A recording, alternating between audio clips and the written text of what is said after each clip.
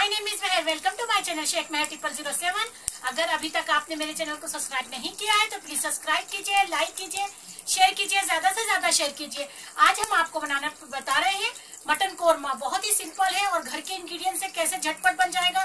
चलिए उसके लिए क्या क्या इंग्रेडिएंट्स लगेंगे, वो मैं आपको बता देती हूँ। ये देखिए, आधा किलो मैंने मटन ली हूँ और दो प्याज का मैंने बिरिस्ता करके रख ली हूँ। एक टेबल स्पून तिखी लाल मिर्च ली हूँ। अब चॉइस आपकी है, आप कम खाते हो तो कम भी ले सकते हैं। डेढ़ टेबल स्पून मैंने कोरिंडर पाउडर यानी कि धनिए का पाउडर ली हूँ। डेढ़ tablespoon ginger garlic paste ली हूँ। और 50 ग्राम मैंने दही ली हूँ। तो एक टेबल स्पून गरम मसाला ली हूँ, नमक टेस्ट के हिसाब से जाएगा। एक टीस्पून हल्दी जाएगी, केवड़ा वाटर एक टीस्पून जाएगा। पानी और तेल ज़रूरत के हिसाब से जाएगा। चलिए इसका मेथड मैं आपको बता देती हूँ। देखिए, चूल्हा मैंने चालू कर दी हूँ, उस पर कुकर रख दिया हूँ। कुकर में मैंने ऑयल डाल दी। ऑयल हमारा गर्म हो चुका है।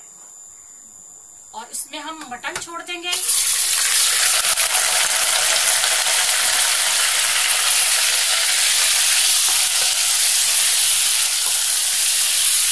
मटन को अच्छे से थोड़ा सा इसको फ्राई होने देंगे। इसके बाद में हम जिंजर गार्लिक पेस्ट डाल देंगे इसके अंदर। मिर्ची डाल देंगे।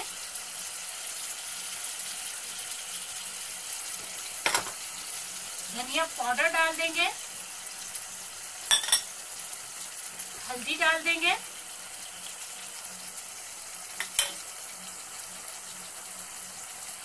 गरम मसाला डाल देंगे। नमक टेस्ट के हिसाब से डालेंगे। थोड़ा सा और मिक्स कर लेंगे ऐसे ही, जैसे मसाला भूनते हैं, ऐसे ही हमें मिक्स करना है।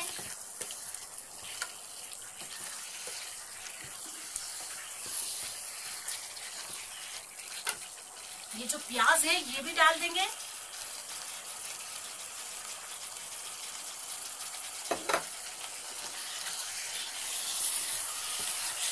दही और केवड़ा वाटर हम जब गोश्त भुनेगा, जब डालेंगे और कम आधा गिलास हम पानी डाल देंगे और मटन को गलने देंगे।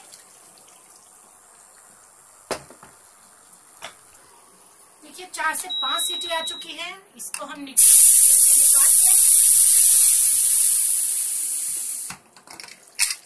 देखिए, गोश्त एकदम बढ़िया पक चुका है और चूल्हे को चालू कर देंगे। इसी स्टेज पे हमको दही ऐड करनी है। दही डालेंगे। और दही डाल के अच्छे से इसको चला लेंगे। जैसे कि जो प्याज का भी रहेगा, सब मिक्स हो जाएगा और इसी में केवड़ा वाटर भी डाल देंगे। और अच्छे से मिक्स करने के बाद एक से दो मिनट तक इसको ऐसे ही पकाएँगे। एक से दो मिनट के बाद हमारा कौरमा तैयार है, मटन कौरमा। बहुत ही टेस्टी बनेगा, बहुत ही अच्छा लगेगा।